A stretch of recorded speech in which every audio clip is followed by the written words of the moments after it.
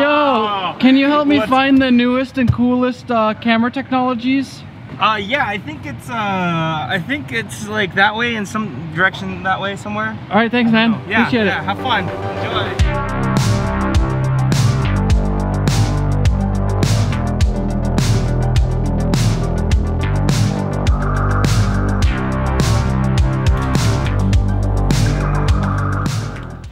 We are here in Las Vegas for NAB. Uh, I don't actually remember what NAB stands for.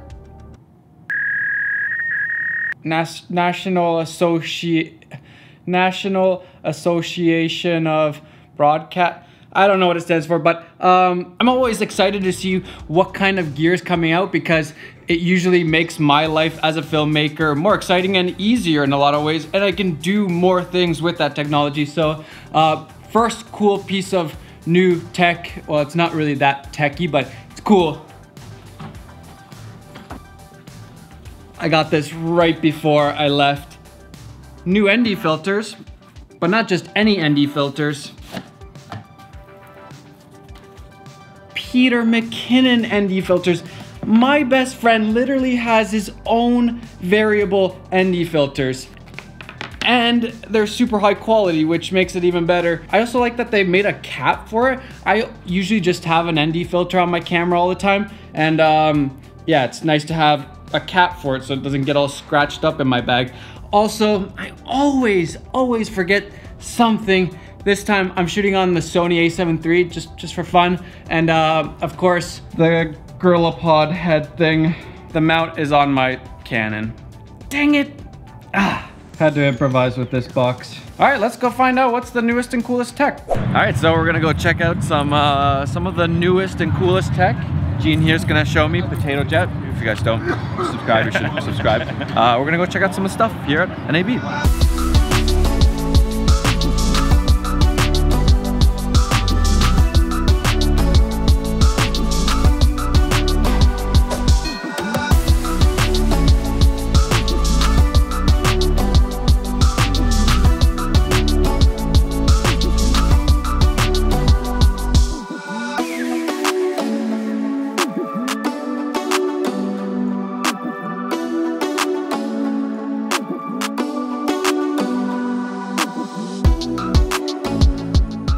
Your first year, right? Yeah, this is uh, this is crazy. Just like all everywhere you look, there's something. Are you feeling overwhelmed already? A little bit. Like there's a guy with a giant Steadicam gimbal just walking around right there. It's, it's just that's just like normal. Apparently that's just a normal thing that just happens here. It's just okay. I remember when I came here last time, I was so overwhelmed. There's just way, way too much stuff, and half the companies I haven't even heard of. So it's, yeah, interesting. Okay, so this is actually day three of my NAB trip and the last day I'm going home today. I think I'm losing my voice a little bit, been talking too much. Got that deep voice going on. So let's talk about some of the coolest things that I saw at NAB 2019. And first off, we have to talk about the 8K Sharp camera. This thing's just like, did Sharp even make cameras before this? I don't, I've never even heard of a Sharp camera.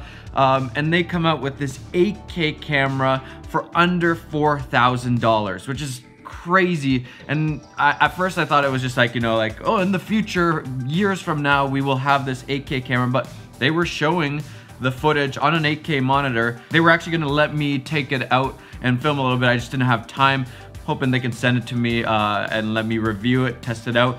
But 8K, I don't even film in 4K most of the time. I'm filming 4K right now, but most of the time I don't even film in 4K. So I don't know what I'm gonna do with 8K, but I think I want it anyways. And on top of that, look at this freaking LCD screen. It's a flip LCD screen. It was massive. It was like this big, probably the biggest flip LCD screen I've ever seen.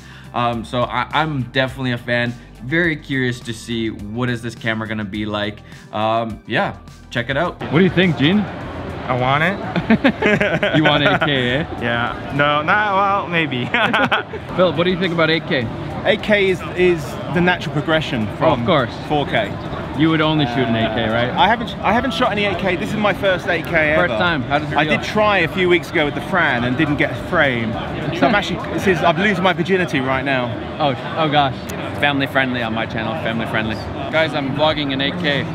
How is, what, what is this lens, Philip? The 7 to 14 Olympus, I think. It's so wide. This is perfect for vlogging. all you need. This, you don't need. any stabilizer, no Nope. gorilla pod, no nothing. Hey, perfect. Can you send me this footage? I can, yeah. Okay, perfect.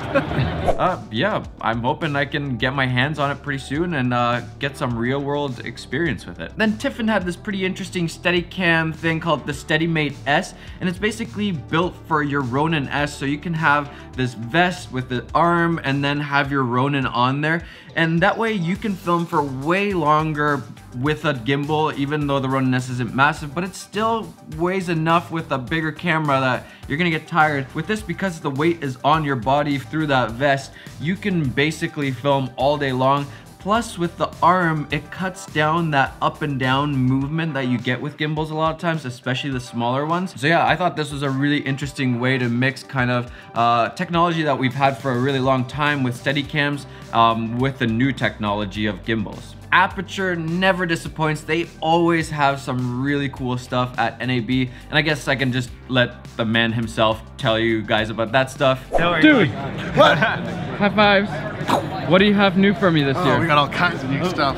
This guy always has, stuff. this, this guy never disappoints. Mhm, we've always got NAB might stuff. disappoint sometimes, but Ted doesn't disappoint. Uh, my voice is dead, so that's disappointing to people. That's a straight up every year, every Number year. one disappointment off that day two, voice gone.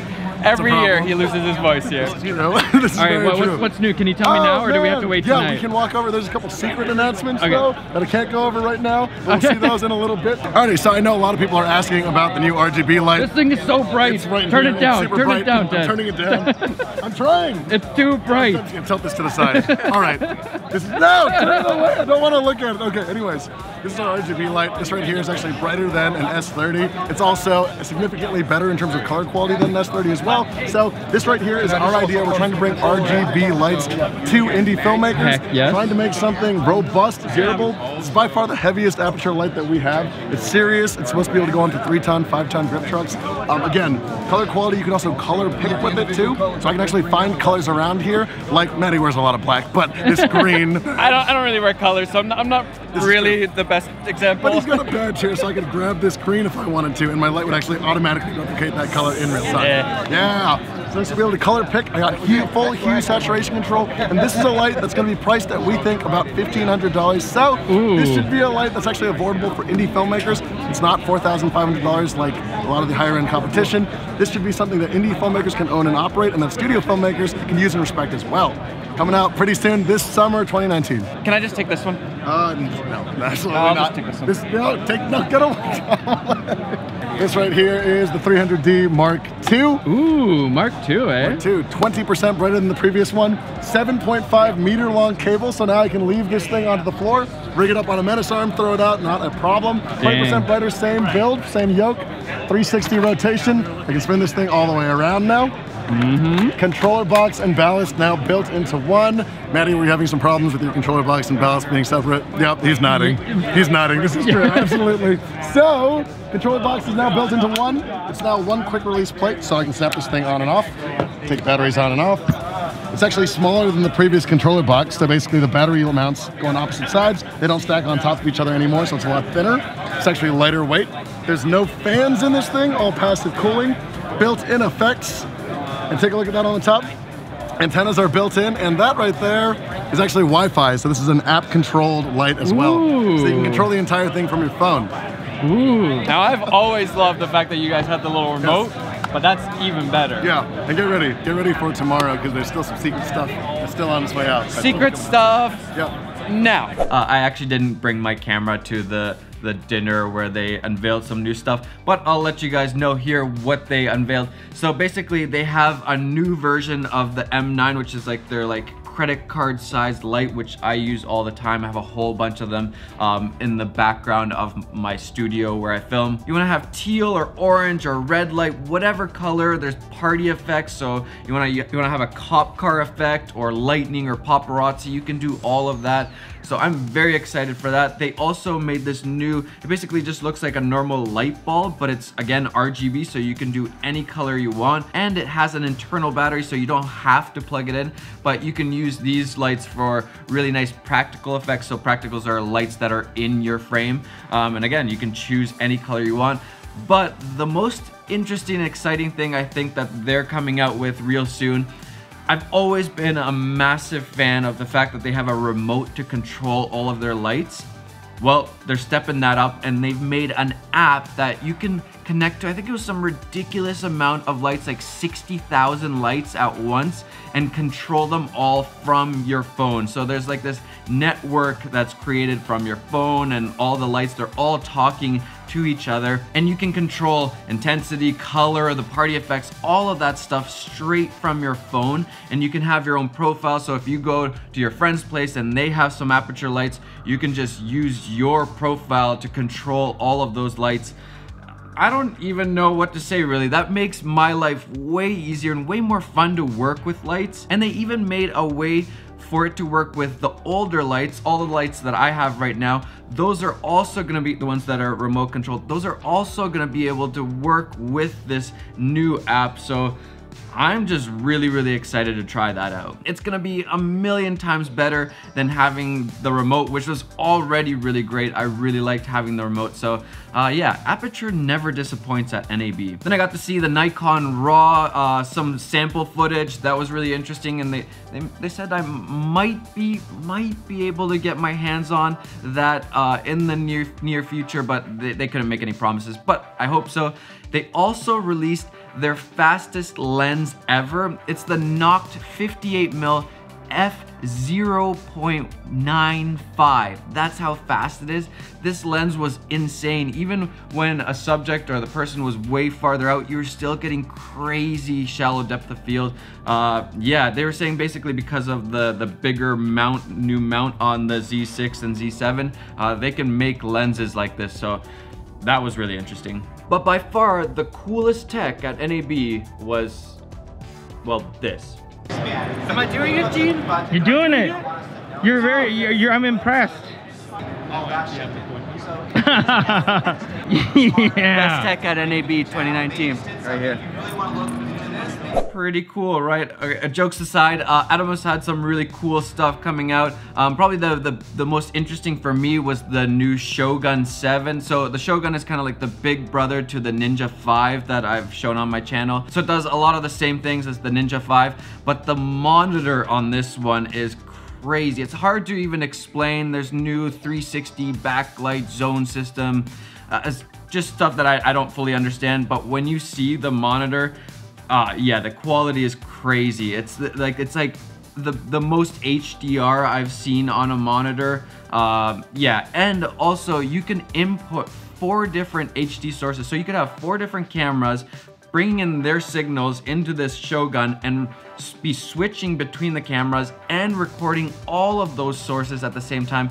I'm definitely gonna be using this for our podcast. Then I saw the most giant LED light I've ever seen in my life. Um, it was a 20K Mole-Richardson LED light. Um, if you're wondering why would you ever need a light like this, well basically they're used to simulate the sun. They're so strong that it looks like sunlight. So, uh, you know, for commercials, for TV shows, for movies, a lot of times they're putting in a, a, fake sun using these insanely powerful lights. And this one's really interesting because you can actually run it just off of two household circuits. So you don't need a crazy amount of power to uh, power this light. So yeah, that was pretty interesting. Do you think it's overkill for your studio though? No, no, man. Man, I mean, maybe for a small YouTube channel, but I'm like, like a lot of YouTubes.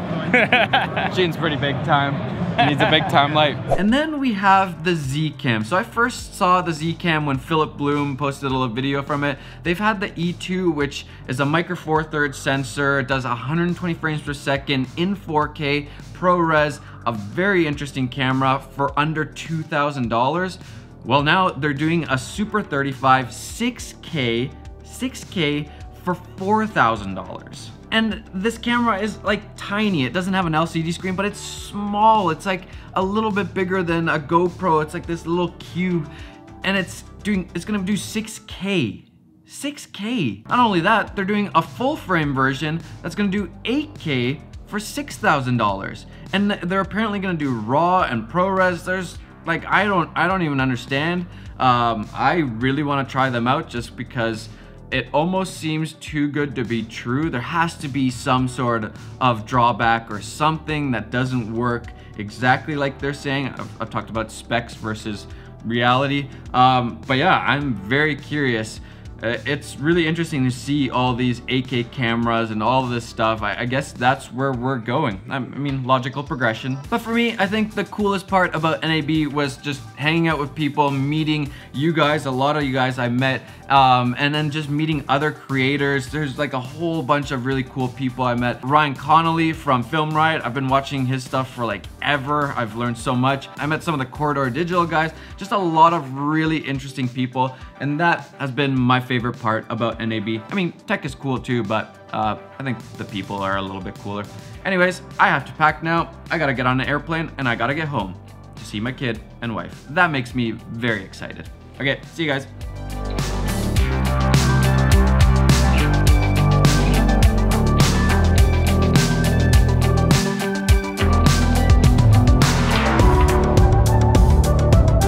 Want, I need this. I oh, need is, this. is this a want or a need? This is a need. Oh, this is a need yes, for sure. This is, yeah.